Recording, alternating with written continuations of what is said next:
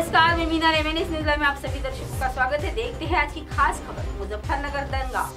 करार कांड मामले में सभी सात आरोपी दोषी करार 8 फरवरी को सजा। मुजफ्फरनगर के कवाल कांड में मलिकपुरा के ममेरे भाइयों सचिन और गौरव की हत्या के केस में कोर्ट ने बुधवार को सभी सातों आरोपियों को दोषी करार दिया है। एडवोकेट हिमांशु भटनागर की कोर्ट संख्या सात में 8 फरवरी को सभी दोषियों को सजा सुनाई जाएगी। करीब साढ़े पाँच साल पहले 27 अगस्त 2013 को एडवोकेट हिमांशु भटनागर की कोर्ट संख्या सात में 8 फरवरी को सभी दोषियों को सजा सुनाई जाएगी। करीब साढ़े पाँच साल पहले 27 अगस्त 2018 को जानघाट कोतवाली क्षेत्र के गाँव कवाल में यह दोहरा हत्याकांड हुआ था, जिसके बाद मुजफ्फरनगर के शामली में दंगा भड़क उठा। मामले में सात लोग आरोपी है।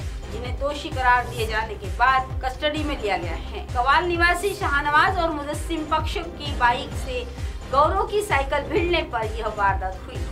तो देखते रहिए खास खबर एम एन एस न्यूज़ के साथ। एम एन एस न्यूज़ की खबर देखने के लिए आज प्ले स्टोर से M N S Hindi app download करें हमारे चैनल को लाइक सब्सक्राइब और शेयर करना बिल्कुल ना भूले। तब तक धन्यवाद।